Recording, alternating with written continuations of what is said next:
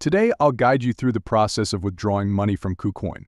Start by accessing your profile settings on KuCoin. Navigate to the Withdraw section within the Settings menu. Select Withdraw Crypto from the options provided. Choose the cryptocurrency you wish to withdraw. Enter the wallet address where you want to receive the funds.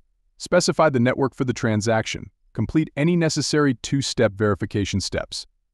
Once verified, your withdrawal should be processed successfully.